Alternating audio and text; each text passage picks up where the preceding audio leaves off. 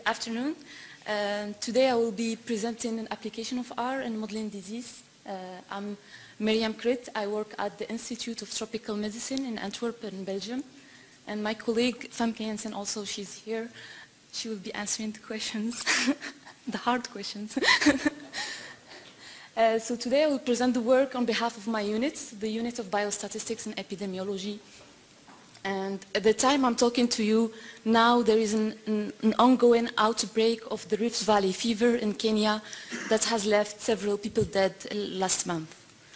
Uh, and uh, Rift Valley is not really very, uh, very known disease. So this is the ecology of the disease. Uh, Rift Valley fever is uh, caused by a virus. This virus is transmitted uh, with mosquitoes. And it can affect humans and animals.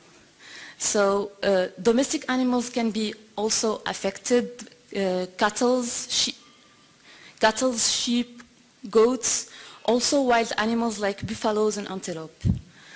Uh, so as I, as I, explained, the humans can be infected either by uh, a, a, a, bite of mosquito, infected mosquito, uh, or by direct or indirect contact uh, with domestic animals. Any contact with blood, body fluids of infected animal, uh, also the conception of raw milk, raw meat and blood.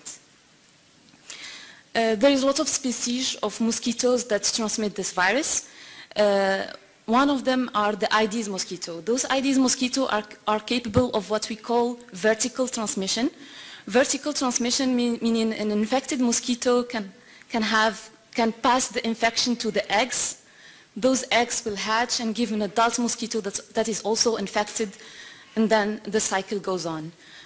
Um, there is also what we call long-term dormancy of eggs. Those eggs can survive really several years of droughts, and then when there is rainfall, uh, rain, uh, rains, they, they, they hatch into adult infected mosquitoes. Uh, unfortunately, there is no established treatment of Rift Valley fever, and there is no vaccine for humans. And the clinical manifestations in humans can range, can range from very mild fever, uh, pain in muscles, joints, uh, headaches, and it can also go to very severe uh, fever like hemorrhagic fevers. In the livestock or domestic animals, there is a high morbidity, mortality in newborns, there is also a high uh, proportion of abortions during all stages of pregnancies and with very severe economic repercussions. And uh, I don't have really numbers and statistics because nothing is really known about the disease. Uh, this is the distribution map uh, of the Rift Valley fever in Africa. So the Rift Valley fever in Africa is really major zoonosis disease. Uh, you can see uh, the dark green are the countries that have substantial outbreaks and you can see also the years of those outbreaks. And the light green are, are countries with only uh, some cases of the Rift Valley fever.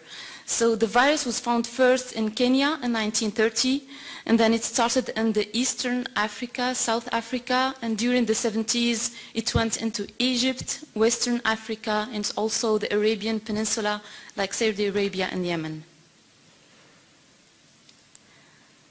Uh, there is what, we call the effect of seasonality or El Nino. So the epidemics in Eastern Africa occurs in a, a cycle of 5 to 15 years. So, so, this is also one of the reasons that we don't know too much about the disease, where people really forget about the disease for six years and then an, an outbreak uh, appears.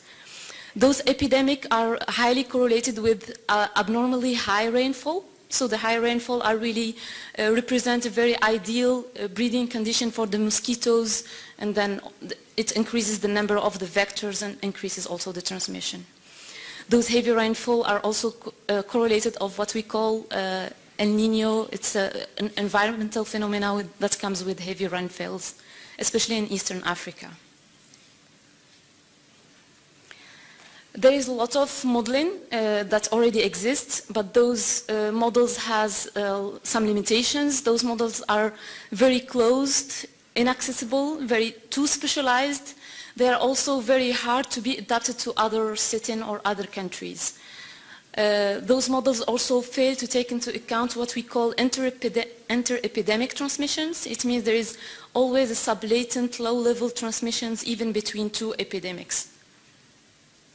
So that's uh, why we saw the need to, uh, to develop a new model that, uh, that is better, that can be modif modifiable, that can be adapted to other settings with very limited programming efforts.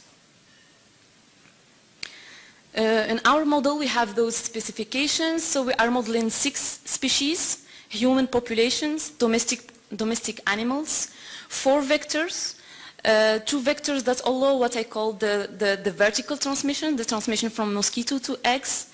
Uh, and one of those two vectors allow also what I explained before, the long-term dormancy of the eggs, the fact that eggs can survive through several years. Uh, we also modeled three different area zone. We allow the immigrations of uh, human and animal population between those three zones. And we modeled this long-term uh, dormancy of eggs and this inter-epidemic transmissions also. Uh, we use very classical models that they are used in epidemiology called compartmental models. Uh, the idea is to group uh, humans into compartments. So we have like the susceptible, the exposed, the infective removed, and then we assume that we have transmission rates from one compartment to another. The same thing for the animal, or what we call mammals, and the same thing also for the mosquitoes, with also allowing the, egg, the eggs to be infected or not, uh, or if we have adult infective mosquito. Uh, so the, the, model is, uh, is based on ordinary differential equations, so we're using deSolve to have a numerical solution of those equations. And as I said, we have three zones, and we allow also immigration between those three patches.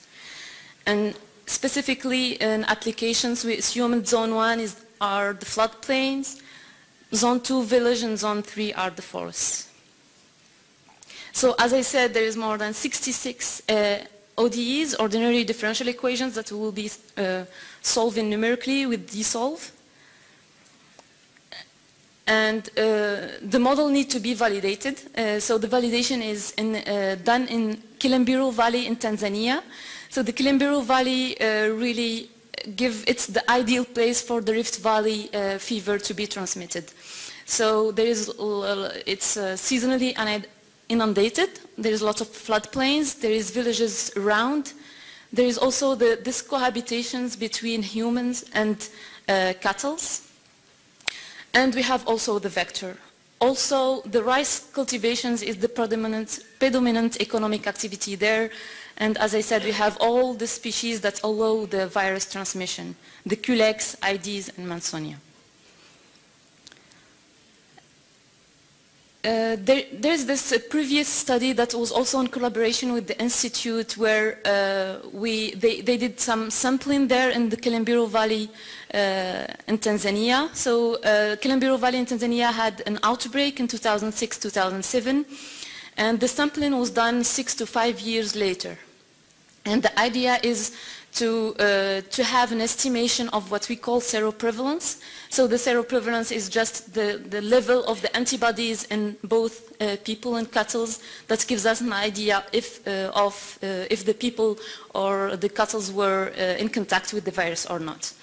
Uh, so we had 12% of people, uh, of uh, seroprevalence in people and 11% in cattle.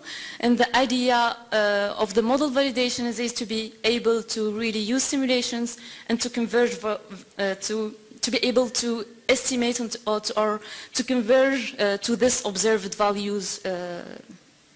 yeah. We, so it's a way to validate the model.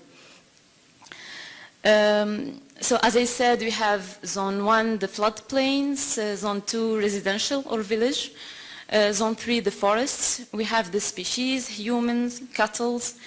Uh, we have the Aedes McIntoshi, so this is the species, the species of the mosquito that allow the vertical transmission, the dormancy uh, in eggs. Uh, the Aedes aegypti with only vertical transmission, and both Culex species 1 and 2, one in the floodplain and one in the village. Uh, so as I said, the idea is to try to do simulations of different scenarios uh, over a period of 27 years. So why 27 years? So we need uh, like a long period in order to assume that the model had uh, reached kind of equilibrium. Uh, also during this one simulations we simulated also what we call El Nino or those, those floods, flooding. Uh, during year 1, year 11, and year 21. Uh, the observed data that we have are six years after uh, the, the, outbreak. So the 27 is going to be the sixth year after the last El Nino that is at year 21. And the idea is really to, uh, to be able to, uh, to reach the same seroprevalence levels that the one that we observed. Uh, this is the kind of results that we have. So we have both, uh, so here the, the, estimated seroprevalences that they are given by the model in human and in cattle. Uh, this is, it means El Nino plus two years, El Nino plus four years, El Nino plus six years. And those are two scenarios. What we call standard is the scenario that is the that we assume that's close to the, what happened in Kilombero Valley in Tanzania and this is the same, uh, the same sit-in plus uh, WL, it's the wildlife. You can see that the seroprevalence levels are really the same with or without the wildlife. So the wildlife doesn't have really an effect on, on the seroprevalence levels. Uh, and you can see that for human, we reach it like, we have a seroprevalence of 13%, and it's 12% for the cattle, and the one we observed, it was 12 and 11%. So uh, we kind of uh, uh, said so we, we have an overall the same seroprevalence of uh, in people and cattle that the one we observed after six years after El Nino. And uh, as I said, there is no significant effect of the wildlife reservoir uh, on the predicted levels of seroprevalence. Uh, I'll go back to this. This is uh, just, uh, you remember what I said here about the vertical transmission, about infected mosquito can give also infected eggs. So what I did not explain is that all those transmission uh, rates that we use in the model are, uh, are found in the literature. So this vertical transmission of the Aedes uh, McIntoshi, uh, we found a range of 0 to 8.5% in this uh, uh, Linthicum. And the, when we use this value, even the higher range, it was not sufficient to maintain the, the transmission. Uh, so even with 25%, uh, so what I have here, I have the whole, the 27 years. Uh, here I have the three El Nino events. this is year 1, 11, 21. And you can see with the transmission rates of 25%, this is those are uh, the levels of the, infect, the number of infected egg, eggs that is really going down and not maintained. With 50%, this is uh, what's really very close to reality or the number of infected eggs should really be, uh, yeah, should, the transmission in, in, eggs should be maintained. And just some few words also about the Shiny app. So, uh, so our idea also is to allow to other users to be able to uh, to use the model to be able also the, to change the transmission parameters and to, to run simulations. So uh, we developed a Shiny app. Uh, so you can see here I have the three zone. I have I can allow uh, to human to be on the three zone or not. The same for the vectors on mosquitoes. I can choose the number of years I want to run my simulations and and here I have the tab panels that gives also, uh, that allow me to, to, to, do some changes on the parameters. For example, here have, I allow El Nino flooding, when it starts, when it ends, etc. Uh, there is a second application uh, in, in, North Africa, especially, especially in Algeria, uh, where we added the possibility to increase, uh, so there it's more sheep than, than cattle, and we added this possibility to increase the sheep, what we call sheep susceptibility, where after the wool shearing, the, the sheep is more likely to be bitten by a mosquito than, than before. So this is also, uh, the model also allow this, this possibility.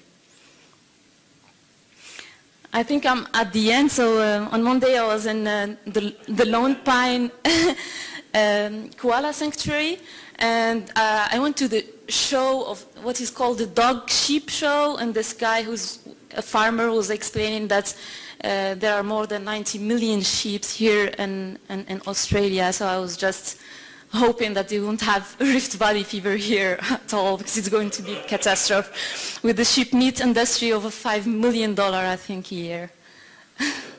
so thank you, and this is the end. Yeah.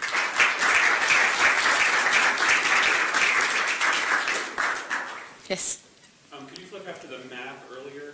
Um, so sometimes where, where something doesn't happen is, is as important to understanding as, as not.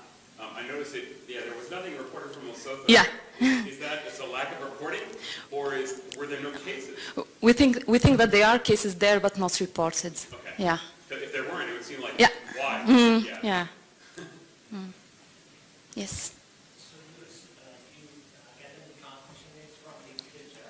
Is, could you have done the other way around, like use data to estimate the uh, transmission rates? The real, if you had real uh, actual data, could you have estimated the transmission rate? Um, I think it's not possible to do it. Um, it's going to be difficult because it's. I'm try. I, I resolve the ODEs, then I have the the number of infected. Then how to do it the way around? I don't know how mathematically it's going to be, but yeah. We can also think of sensitivity analysis just to try to play with the number, uh, a range of, of transmission rates and to, to see how the, the output or uh, really changes. But yeah. yes, In your data, or your predictions, you said that the animal reservoir was not responsible for the human rate. the wildlife, the wild animals. Yeah, So the animal reservoir of the infection. yeah. Is that the experience across the, if you look at the different countries, do they not correlate or Yeah. is that, was that expected? I was surprised. I would thought there would be a correlation between the rate of infection of animals and humans associated with it. Mm. Uh, Famke, what do you think? Yeah, in different regions, in the different stories, so in different regions, wildlife could be a big influence, but in our model, in this region, we see that they don't.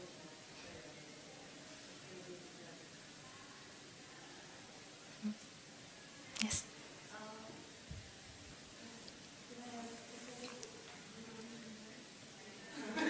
Sorry, I thought I was interrupting. All right, so I just wanted to ask, uh, you were going to validate your model using information from Tanzania,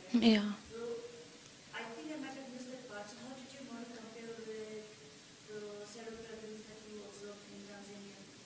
Because you showed us a table where you had seroprevalence with a double pipeline. But I can't I do not remember whether you talked about what compares with what you observed in transferring. Uh, so the idea you have this uh, transmission, the vertical transmission rate that was really not enough to, to have this uh, value that we observe of the seroprevalence in, in people and cattle.